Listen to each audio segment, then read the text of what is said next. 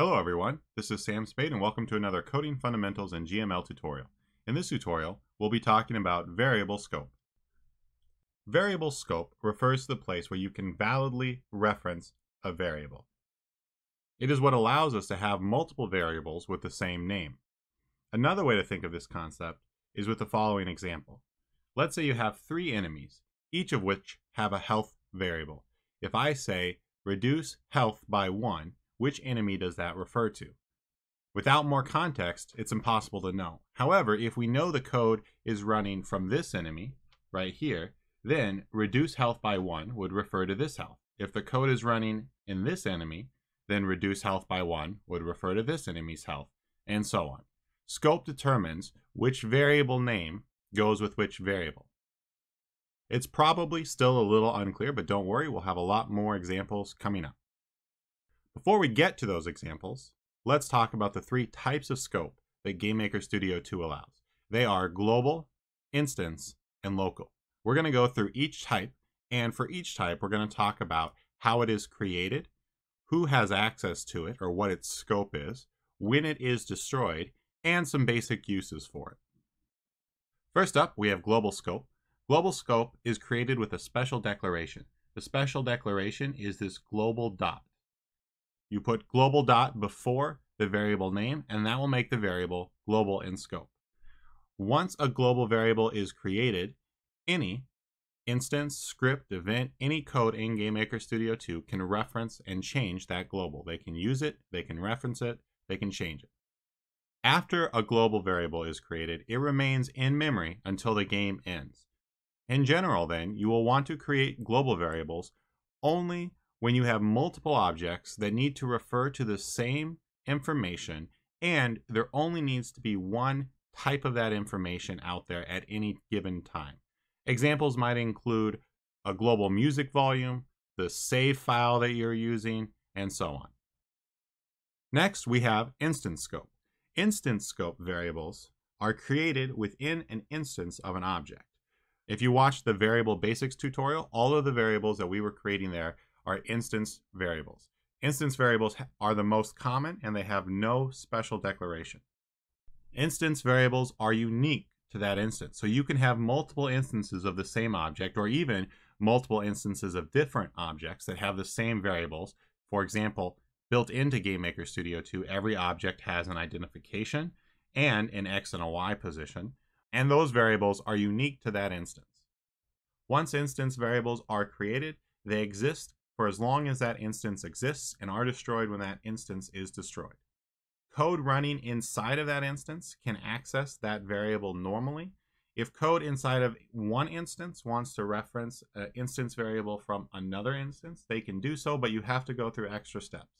We'll talk about that in a different tutorial, but the takeaway right now is an instance variable can be accessed normally inside of an instance, and if you want to access an instance variable from another instance, you have to jump through extra hoops. Finally, we have local scope. Local scope variables are created for a specific event or script and are destroyed as soon as that script or event is finished. They also have a special declaration. That declaration is the keyword var. You say var variable name equals whatever the data you want it to be is. You can see that I use underscores before the names. This is not required. It is simply a convention it's a convention that I normally use with my local variables to further help remind myself that they are local variables and cannot be referenced outside of that script or event, but it is purely a convention. There's no requirement to do this. Local variables are great for any type of information that needs to be created or held onto for a certain event but isn't needed anywhere else. They help save on memory and keep your code clean and easier to debug. Here we have the chart all put together.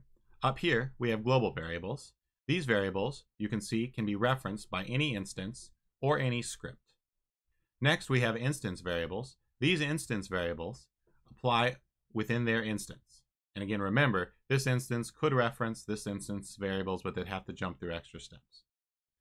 Finally, we have local variables. Local variables exist only in that script or event and are discarded when the script or event is done. Now, let's switch over to GameMaker Studio 2 and see this in action. We have a room with four objects. We have three object Bs and all they have is a square sprite attached to them. We'll run through their code in a moment. And then we have object A up here. Object A is simply going to create some variables, global color, global size, and it's going to, if you're not familiar with the choose function, it's simply going to choose from one of these options and assign that to that variable. And it will do that whenever I push enter. Object B is going to have a rotation, and then we're going to assign that rotation to image angle. And I'm doing this uh, purely because it'll make it easier to debug. Whenever we push space, it's going to update its size based upon global size and its color based upon global color. And whenever we push shift, it's going to update its rotation. Okay, so I've skipped forward to the project being compiled. I set a breakpoint here so we can see the global variables get created over here. Note that they're over here. Next, we can look at the, check these out. All right, there we go. So next we can look at the instance variables over here. So we have three instances of object B, each with their own local rotation variable. Or sorry, not local, each with their own instance rotation variable. We can update those variables by pushing shift, and you'll see that they'll change. Every variable is called the same, but when the code inside that object runs, it knows that rotation refers to that instance's rotation, and it updates that variable. We can also push enter and we should see the global variables over here change, right? Color stayed the same, but size was slightly different. Now, if we update our spaces, oh, I forgot I put a breakpoint here. So we're to update these squares, but we're going to step through it in code. So global size will be saved to a temporary variable. Now, this is actually completely unnecessary. I could have just put global size here and here. I just did this to show that in the debugger, size is going to get created. It's going to get, it's going to be used. And then, as soon as we start running this again, it's going to be destroyed. It no longer exists. And you can see that the squares have updated their size. The color is still the same, but they've updated their size. And if we randomize the color and size a little bit, there we go. There we go. You can see that they're all pulling from the same global variables. So, in summary, variables have scope. That scope determines where it is legal and valid to reference a variable, and the three levels of scope in GameMaker Studio 2 are instance, local, and global. As always, the links in this slide will be below along with links to the source code and the slides themselves. That's it. Thanks for watching.